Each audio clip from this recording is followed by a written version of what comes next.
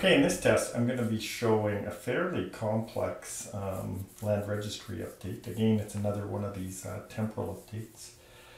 Uh, again, I think it's a fairly realistic one. Um, in this case, we have uh, someone that is taking a parcel of land, imagine a quarter section of land, and then they're subdividing it.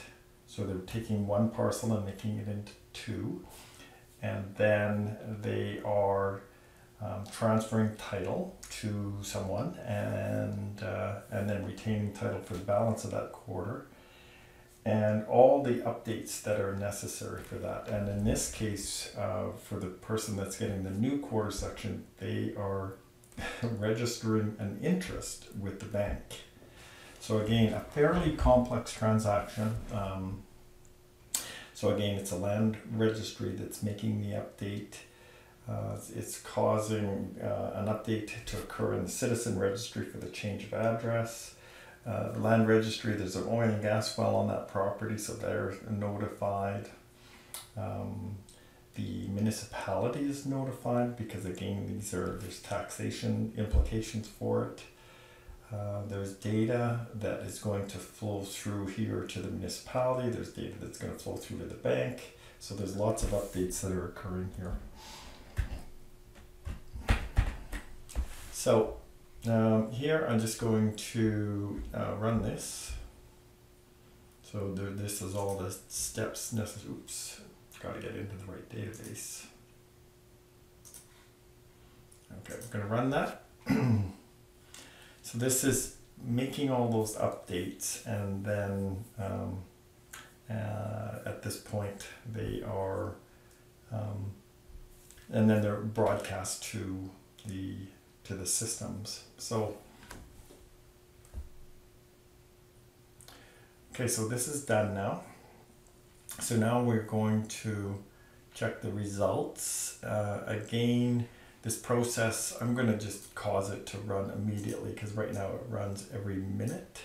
So this, I'm going to cause those jobs to run sooner, but this is causing the import process to run on these systems. So now if we go back and we take a look, we should see some updates occurring uh, as of that time. So these are all the different tables and things that were updated as a result of this, uh, this update. And we're seeing um, these, they're basically specific updates that have occurred. So let's run that and we'll just take a look. And um, so as an example, we can see here's that uh, interest update that occurred. It's to the Bank of Fairfax. It's a registered mortgage. Um, here's the plans. You know, there's a parcel plan that was submitted by this person.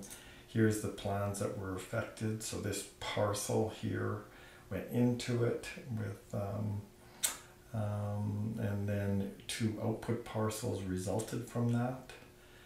Um, here we can see our title holders um, and how the title holders have um, changed. So we can see um, Frank is the title holder of the, the new parcel and Jim and Penny are uh, title holders of that um, new lot. So, so lots of changes have occurred. You can see this is as of 1444, so that's just you know a minute or two before that. So all these changes did successfully go through to the destination systems. So now we're going to go check the executive system because it would have automatically received the financial transactions. So we can take a look at that. And yes, there's the land registration fees, and so these uh, this data has gone through to um, uh, you know, to the to the this uh, registry system. And now we can go and check the bank. Now the bank is operating in a completely different system, so I'm going to go switch to that system, which is system number 14. And we're going to see if those updates flow through or flowed through to it as well. So, um, here, uh, actually I'm just going to redo this. I'm going to close all those and then run that again so I can see what is running. Okay, so um, let's see, parcel interests. So at this point, it hasn't run yet. So all I have to do is to run it here. And we're going to run that again. And um, where is my interest? Okay, so there's the interest uh, there. Uh, there's the people, so Penny Abert, I mean, that's the, the one that we're focusing on, and, and they have this registered against a parcel, which is this lot um, that existed. So everything flowed through correctly to that system. Now we're going to go through to um, to a different system. We're going to go check the municipal system because, of course, if there was these kind of changes that occurred at a land registry, then of course it affects the municipality where that uh, lot exists. So we're going to see if those changes um, flow through to that system. So I'm going to switch to system number 12, which is this one. And uh, we're going to run this here and see if those updates went through to it. And okay, so we can see, so there's that um, uh, new parcel, the, the five lot, you know, so it's basically providing the information on um, the existing parcel. You can see this one is flagged as deleted and that was the original quarter section. So now the municipality knows they have to take that and then basically add taxes to it or whatever they need to do. Um, and you can see that this is currently associated with a tax roll. So they would have some kind of report that they would run that would uh, tell them um, that they need to set these up in a new tax roll and do assessments and all that stuff, which is actually the next step in the process. So we're going to run that test now because uh, it's basically a continuation of this one. So I'm going to switch to, I'm already in uh, the, the correct database. So I'm going to run this uh, next process, which is going to set up the tax roll and set up the update the parcels and set up the assessments and all that stuff. So that's all going to occur.